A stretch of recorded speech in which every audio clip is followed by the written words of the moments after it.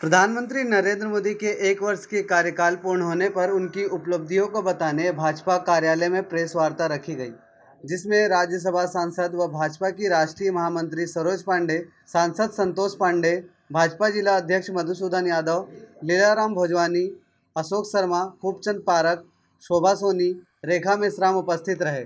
DNX TV के लिए राजनांदगांव से सुरेंद्र गुप्ता की रिपोर्ट। और छत्तीसगढ़ की सरकार की मुख्यमंत्री ने उस विषय पर उन्होंने विधेयक का विरोध करते हुए सदन में विरोध पारित करके भेजा, जबकि उनके ही नेता ने।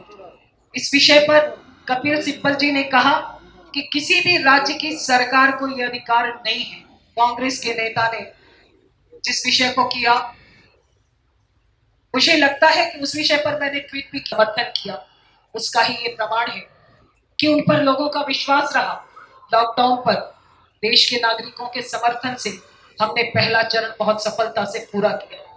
दूसरा चरण हमने सफलता से पूरा किया। तीसरे चरण के हम अंतिम दौर में, एक चरण के बाद हम इस कोरोना की महामारी से निकल जाएँगे। अभी थोड़ा लोगों को लग रहा है कि घटनाक्रम बढ़ रही और ये दौर आना था। तीसरे पक्ष में ये घटनाक्रम घटित होगा, ये विषय स्पष्ट था। इसलिए इस समय पर सबसे ज़्यादा सचेत रहने की ज़रूरत है। और हम चौथे चरण में प्रवेश करते करते हम पार हो जाएँगे।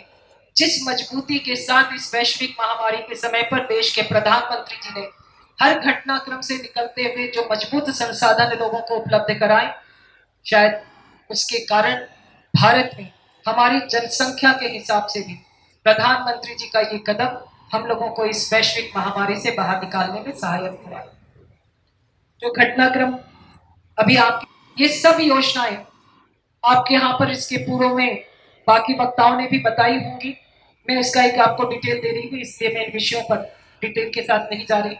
आपके मैं प्रश्न आमंत्रित करती हूँ कि अगर आपके कोई प्रश्न हो तो उसका स्वागत है। सरकार जिन योजनाओं पर काम कर रही है, उन योजनाओं में और क्या बेहतर किया जा सकता है इस दृष्टिकोण से? नगर के शिक्षाविद, दूसरी Hemlata Mohwe ji doctor Thomas Abraham ji judicial accountability के दृष्टिकोण से डॉक्टर वकील साहब गाजी साहब से मुलाकात हुई। मुलाकात आप लोगों से चर्चा के बाद हुई। साथ ही आशा नगर में प्रधानमंत्री योजना के हितग्राही से जाकर के संपर्क किया गया। उज्ज्वला योजना के हितग्राहियों से जाकर के संपर्क किया गया। आज एक औपचारिक शुरुआत इस जनसंपर्क अभियान का सोशल डिस्टेंसिंग को ध्यान में रखते हुए यहाँ प्रारंभ किया गया।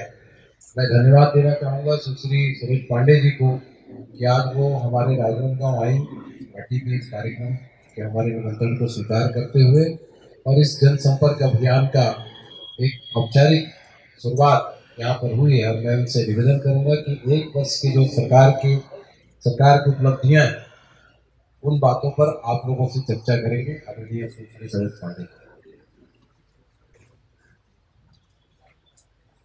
आप सभी लोगों के साथ में जिस विषय के साथ हम रूबरू हो रहे हैं, उस पर भारतीय जनता पार्टी के जिलाध्यक्ष ने बहुत विस्तृत तौर पर प्रकाश डाला। केंद्र में 2014 में भारतीय जनता पार्टी की सरकार बनी। 2014 के पहले जब कांग्रेस पार्टी थी, मैं उस समय आपको थी। और जब तक ऊपर से उन्हें संकेत नहीं होता था, कोई निर्णय वो नहीं करते। पूरे देश में लगातार रोज जब संसद चलती थी तो संसद चलते हुए रोज एक नया घोटाला सामने आता था। लेकिन 2014 में भारतीय जनता पार्टी पूर्ण बहुमत के साथ में सरकार बनाई देश में प्रधानमंत्री नरेंद्र मोदी जी ने कमाल को संभाला। पूरा देश का परिदृश्य बदल गया। शुरुआत हुई स्वच्छता से। और उस समय लोग कई बार मज़ाक उड़ाते थे। शौचालय के बनाने की बातों को मुझे आज भी याद है कि उस समय कांग्रेस के एक नेता ने ट्वीट किया कि आपको प्रधानमंत्री देश की जनता ने शौचालय बनाने के लिए नहीं बताया। लेकिन अगर आज के इस महामारी के समय पर उस परिदृश्य को देखा जाए तो वो विषय कितना प्रासंगिक था, ये स्पष्ट हो जाता। है 2014 में बहुत बड़े निर्णय। जनता ने फिर से मुहर लगाई। 2019 में हमारी भारतीय जनता पार्टी की फिर से सरकार बनी। और इस बार 303 सीटों से, पहले से ज़्यादा सीटों से पार्टी चुनाव जीतकर और जनता के आशीर्वाद से फिर से देश के प्रधानमंत्री पद पर मोदी जी आए। एक साल। सरकार ने जो किया, ऐसे निर्णय जो कई वर्षों से लंबित थे, जिन्हें हो जाना चाहिए था, लेकिन कुछ वोटों की राजनीति की भेंट चढ़ गई। और कुछ भी करने की मंशा ही नहीं थी, जज्बा ही नहीं था। देश के दोनों सदनों में बहुमत से नहीं, बल्कि पूर्ण बहुमत से विषय पारित हुई सबसे बड़ा करता नारा लगाता कि जहाँ बलिदान हुए मुखर्जी, वो कश्मीर हमारा मुखर्जी जी ने कश्मीर को भारत का अविभाज्य अंग बनाए रखने के लिए अपना बलिदान दिया। भारतीय जनता पार्टी वो देश ने तीन तलाक तीन तलाक पर हर बार वोट की राजनीति